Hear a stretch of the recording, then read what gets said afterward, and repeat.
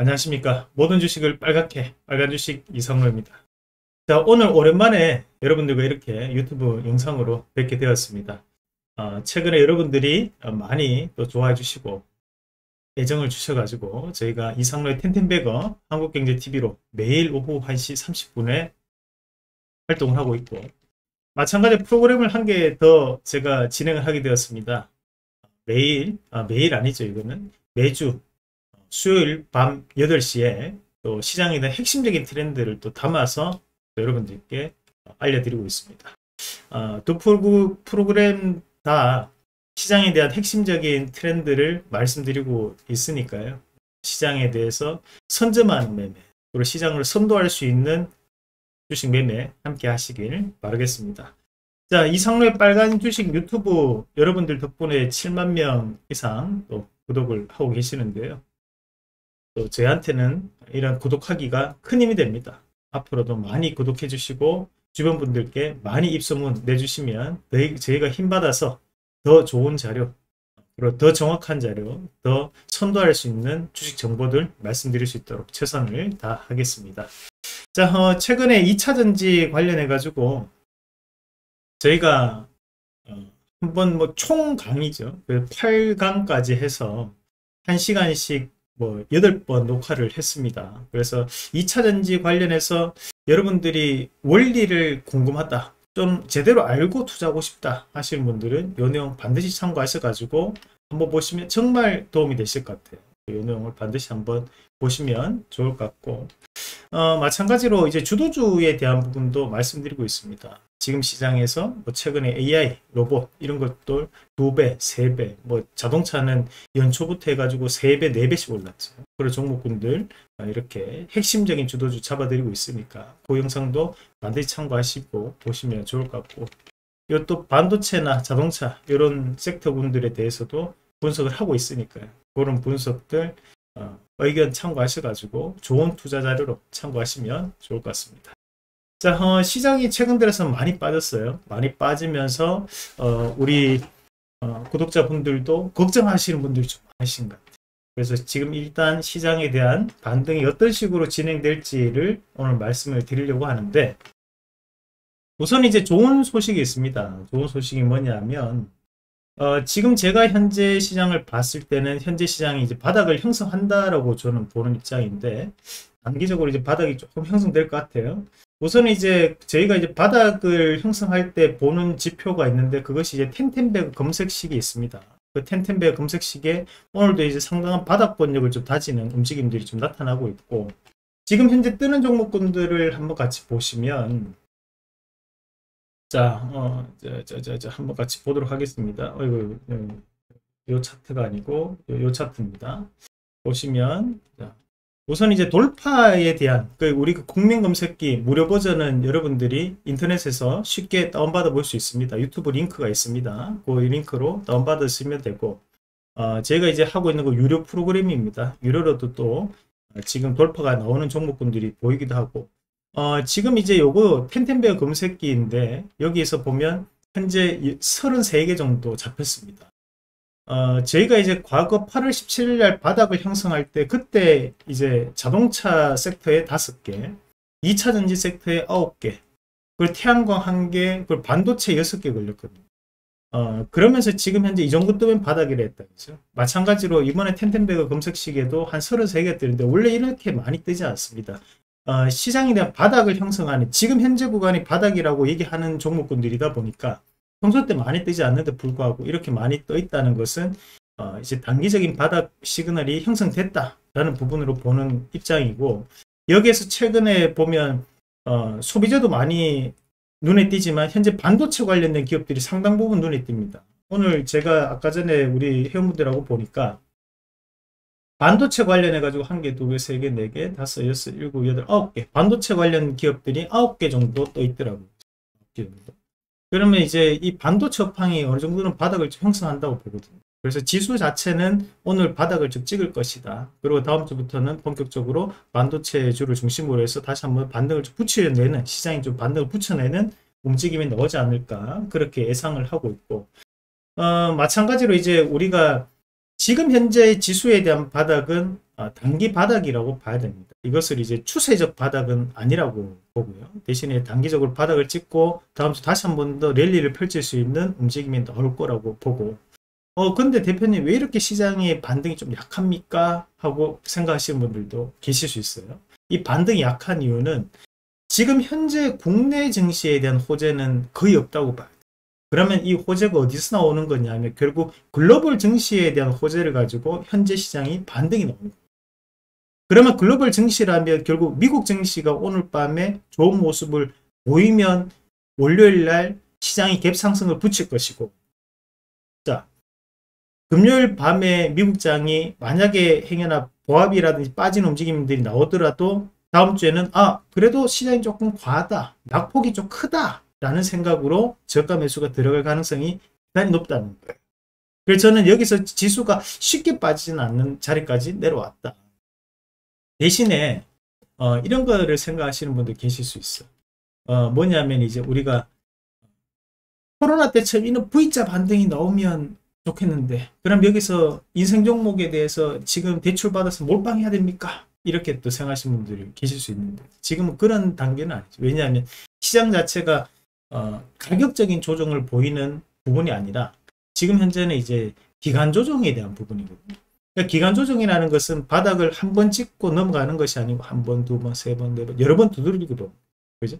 지금 지수 자체가 8월 달에도 바닥을 찍을 때 8월 17일 날 바닥이라고 했지만 8월 17일 날 바닥을 찍고 난 다음에 곧장 시장이 반등을 강하게 붙였던 것이 아니라 지수를 보더라도 자 8월 17일 날 바닥을 찍고 그 다음에 옆으로 행보하는 모습들을 붙이고 난 다음에 들었던. 그러니까 지금 현재는 그 자리에 대한 부분에서에 대한 기술적 반등을 붙일 수 있는 그러니까 하방 경직성을 보일 수 있는 자리까지 내려왔기 때문에 저는 오늘도 올라갈 수 있다. 그래서 저희도 함께 이 반도체라든지 소비재에 대한 부분에서 잡아볼 수 있는 말씀을 드렸습니다. 자, 마찬가지로 이제 이런 움직임들이 보이는데 왜 그러면 다음 주 반도체 좀 더 우세적으로 갈 수 있냐? 어, 지금 현재 시장은 국내 이슈가 중요한 것이 아니고 미국의 이슈가 국내 증시에 영향을 미치게 되는 상황이에요. 근데 지금 최근에 어, 보면 ARM 아시죠? ARM이 어, 주가가 상장 이후로 이틀 오르고 난 다음에 주가 엄청나게 지금 빠졌습니다. 어, 상장 가격대보다 그 밑에가 내려왔다는 얘기는 결국에는 바닥에 대한 움직임이 형성될 가능성이 높다라는 부분. 그리고 우리가 어, 이 반도체의 대장이라 볼 수 있는 것이 엔비디아예요. 이것이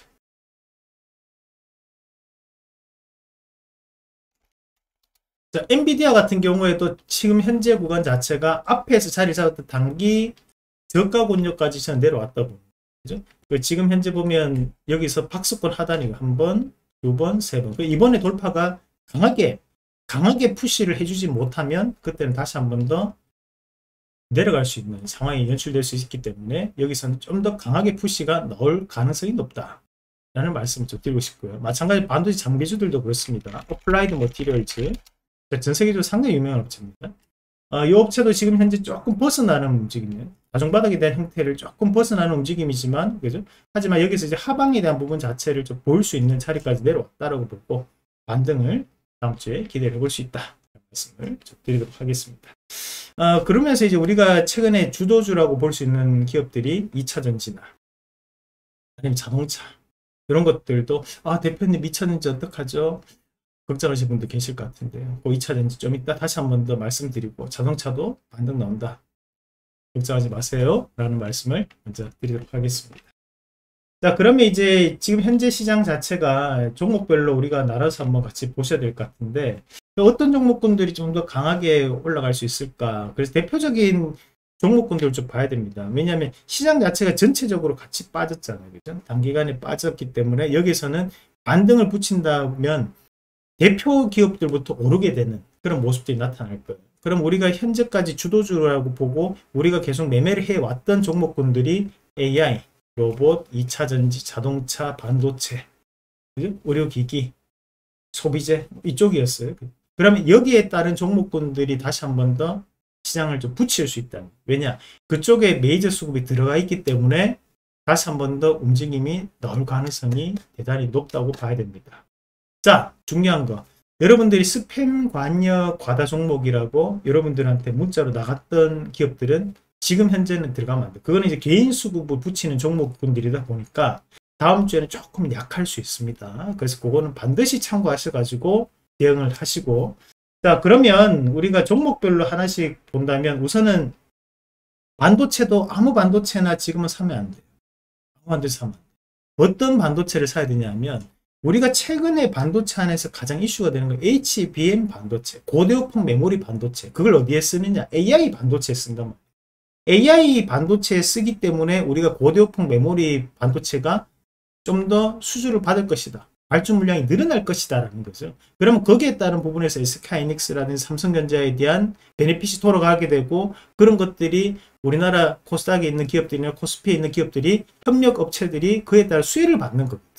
자 그러면 대표적인 기업들로 봐야 돼요. 그럼 우선은 봐야 되는 것이 이오테크닉스를 조금 보겠습니다. 자, 이오테크닉스 같은 경우에 단기적으로 시세를 강하게 붙였습니다. 바닥에 대한 돌파 신호가 나오고 난 다음에 시세를 더욱더 강하게 붙이고 한 번, 두 번, 세 번, 자, 삼중천정이 한번 발생을 했어요. 그죠? 하지만 여기서 우리가 어, 이게 삼중천정 꼭지를 치는 부분은 아니에요. 왜? 거래량이 그만큼 실리지는 않았기 때문에. 만약에 여기서 이게 삼중천정을 치고 주가가 빠질 것 같으면 거래량이 훨씬 더 많이 붙어야 됩니다. 하지만 처음에 올라갈 때 시세가 거래량이 붙고 난 다음에 그 다음에 거래량이 조금씩 줄었어. 이건 뭐냐? 결국에는 다 이익 실현하지 못했다는 얘기. 대신에 단기간에 올랐던 부분에 대해서 지금 현재는 조정을 보면서 건전한 조정이 붙었고 여기서 개파르게 떨어지면서 지금 현재 바닥 신호가 들어왔거든요. 그러니까 저는 여기서 바닥이 한번 형성될 수 있다.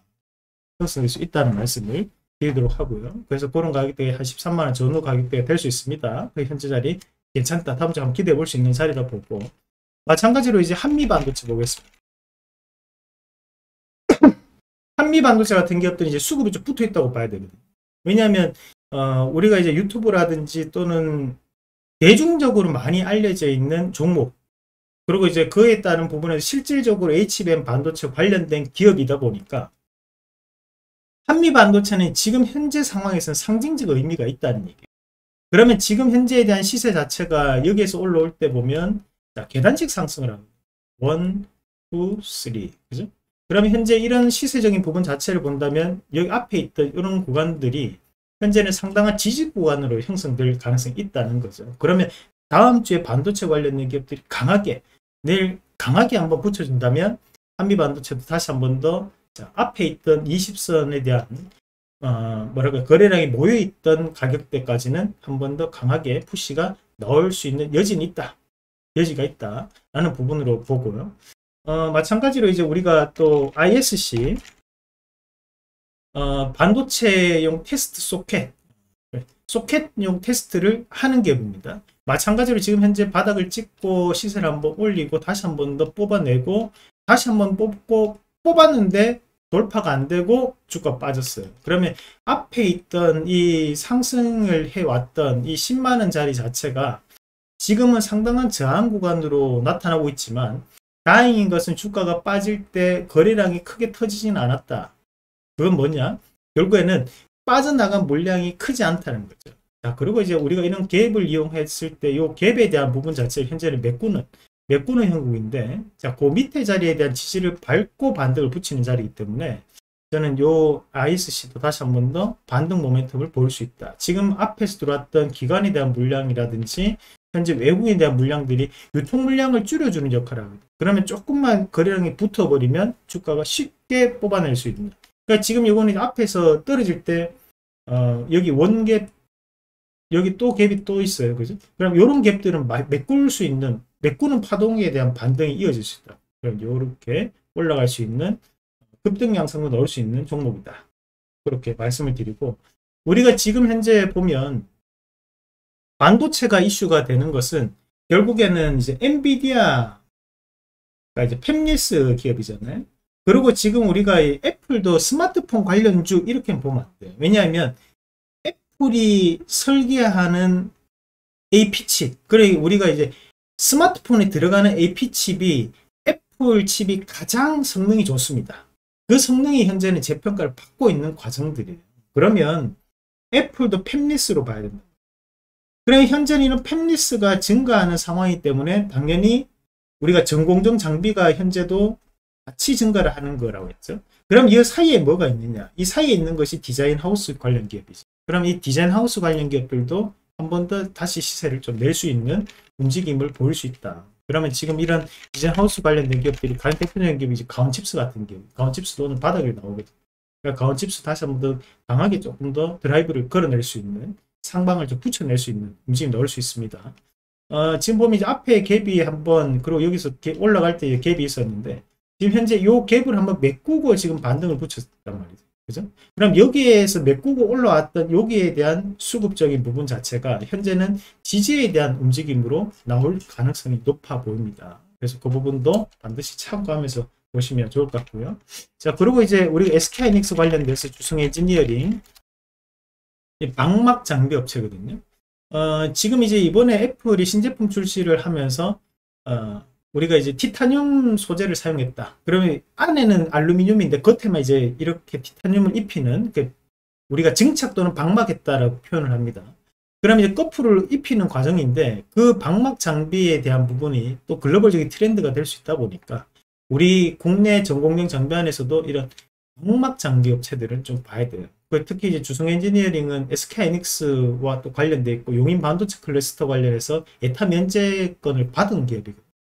그러면 그런 부분 자체가 다시 한번 재평가 나타날 수 있다 보니까 일봉에 대한 부분보다는 이제 크게 보고 월봉에서 현재 이제 돌파가 나올 수 있는 구간입니다. 그래서 쉽게 꺼질 수 있는 자리는 아니다. 제가 이거 애플 계속 얘기하니까 야 쟤도 또 아이폰 막 이래 쓰는 거다 하시면 저 삼성 씁니다. 여러분 오해하지 마십시오. 삼성 휴대폰 쓰고 있습니다. 자 폴드입니다. 어, 그리고 이제 우리가 최근에 우리 개인 투자자분들이 또 관심이 많은 섹터군 한 중에 한 군데가 이제 레인보우 로보틱스 같은 로봇 관련주입니다. 어, 레인보우 로보틱스가 오늘 이제 반등적 붙이죠. 그리고 현재 보면 어, 두산 로보틱스가 상장 때까지 계속 갈 거야 라고 생각하고 들어가시는 분들도 많으신 거예요. 근데 이 두산 로보틱스가 지금 현재 경쟁률이 약 59대, 56대 1, 59대 1 정도 나오는 것 같습니다. 어, 이 로봇 관련된 이슈 자체가 쉽게 꺼지지는 않을 거라고 봐요. 또다시 또 상장되면서에 대한 효과가 있기 때문에 그런 로봇 관련된 부분 자체에서 우리가 단순 비교를 할 수는 없겠지만 본다면 지금 현재 그에 따른 이제 함께 흐름 자체를 붙일 수 있는 기업이 레인보우 로보틱스 정도 그리고 나머지 감속기 관련된 기업들이 나오거든요. 보면 이제 SPG나 또는 뭐 최근 SBB테크, 뉴로메카 많은 기업들 있죠. 네, 그래서 가장 대표적인 기업이 현재 레인보우 로보틱스라고. 그러니까 레인보우 로보틱스도 상징적인 의미가 있다는 얘기. 로봇 관련주에서. 그러면 여기서 이 레인보우 로보틱스 같은 경우에도 이번 다음 주에 되돌림 파동을 한번 붙일 수 있는 모습이 나올 것이다. 보면 대부분 종목군들이 주가가 이제 한 번 빠졌다가 다시 들었다가 한 번 더 빠지는 이런 형국이 지금 나타났는데 여기서 이제 반등을 붙이면 일단 한번 꺾어서 왔던 이 변곡점까지 한번 주가가 대부분 다 반등이 나올 수 있습니다. 그냥 레인보우 로보틱스 자세히 보시면 어때요? 지금 여기서 이제 그냥 빠진 이 다이렉트로 빠진 것이 아니거든요. 여기서 빠지다가 시세를 한번 돌린 밑에 거래량 보십시오. 자, 거래량이 빠지다가 돌렸다가 다시 빠진 거예요. 그죠? 그리고 여기서 거래량이 다시 조금 붙었다가 또 다시 빠졌다가 들어 올렸는 거예요. 그러니까 지금 얘가 그냥 단순하게 이렇게 빠진 것이 아니라 지금 이제 주가에 대한 변동을 본다면 주가 빠지다가 반등 붙이고 다시 흘러내려서 반등 거예요. 그냥 여기서만 봐도 한 번 빠졌다가 꺾었다가 다시 한 번 빠진 거거든. 그러니까 여기서 반등을 붙인다면 그 위에 있는 지점까지는 한번 반등을 좀볼수 있는 자리가 형성될 수 있죠. 그래서 그런 자리까지는 한번 변동을 한번 주지 않을까. 어, 그렇게 한번 보는 입장입니다. 아, 그리고 이제 2차전지 관련해서 이제 궁금해 하시는 분들 많으실 것 같아요. 그 2차전지 안에서 저는 어, 지금 이제 포스홀딩스는 앞서서 우리가 바닥을 한번 잡아드렸고, 마찬가지로 이제 에코프로 그룹을 조금 봐야 될 것 같아요. 에코프로하고 에코프로 BM. 어, 에코프로 같은 경우에 현재 바닥 신호가 나왔습니다. 앞에서 이제 바닥 신호가 나오고 난 다음에 주가를 돌려냈어요. 그죠? 7% 오르고, 그 다음에 또다시 한번 4% 오르면서. 그걸 지금 다시 한번 조금 주가 눌리는데 현재 이 에코프로도 지금 이제 우리가 그 9월 말 10월 달로 넘어가는 시점이기 때문에 미국에서는 이제 정책적인 얘기로 넘어갈 수 있거든요. 그런 미국에 대한 정책적인 얘기 나왔을 때 미국은 지금 가장 중요한 것이 IRA, 인플레이션 감축법입니다. 왜냐하면 그걸로 친환경 일자리를 늘려야지만 바이든 지지율을 회복할 수 있어요. 그러면 그에 따른 부분에서 국내 기업들에 대한 저는 베네핏이 돌아갈 수 있다고 봅니다.